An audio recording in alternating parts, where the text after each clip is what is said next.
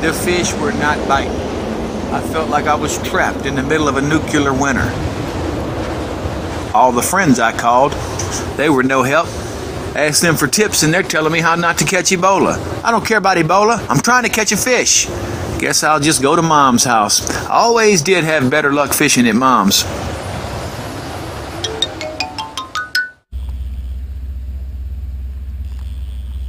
I quit. They just ain't nothing bite. Uh oh, I done hung my line up. I don't think it's a fish. I'm hung on something. What the hell is this?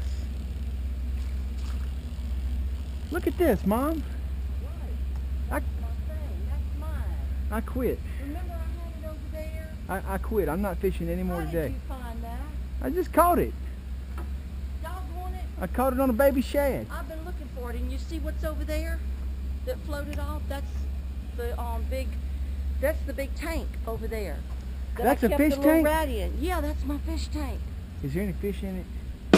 This is ridiculous. I quit. I'm not fishing no that. more Don't today. throw that away. No, I hear you. I'm- not out here to You- catch you- all the you stuff that you lost in the bayou, though. Yeah, what I'm trying you to tell did a you. good thing. I, M- Hannah and I bought this on our way to Tick Farm State Park from that lady that makes them. I'm gonna put Clorox on it.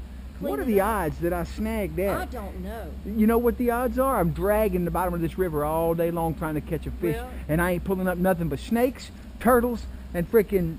What is this? Maybe you need to go to fishing school. Windmill. I don't need to go to no fishing school. I know how to fish. If there ain't no fish out here to bite right now. Hand me that. I want that.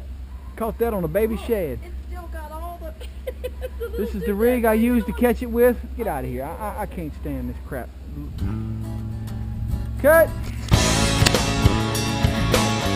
This has been Fishing with Steve Spell 2. You never know what I'm gonna catch out here.